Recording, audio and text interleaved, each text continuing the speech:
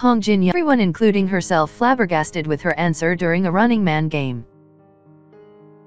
Hong Jin lived this down.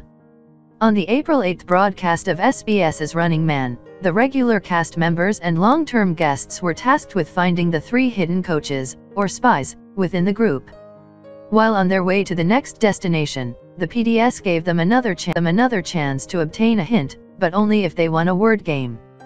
The rules were that the cast had to make actual three-syllable words by each saying a syllable based on what the person before them said. The PDS gave the first syllable, gi. Hong Jin Young immediately continued by saying SAE, and made everyone burst out into laughter as those are the first two syllables of a swear word in Korean. Taken aback herself, Hong Jin Young started apologizing when Jeon So Min suddenly completed the swear word, making the cast laugh again. Yoo Jae Suk expressed, just stop now.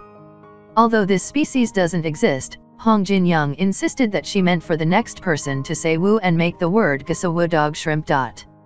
Yoo Jae Suk jokingly commented, because this game makes you think of an answer in a short amount of time, you subconsciously think of words that you use normally.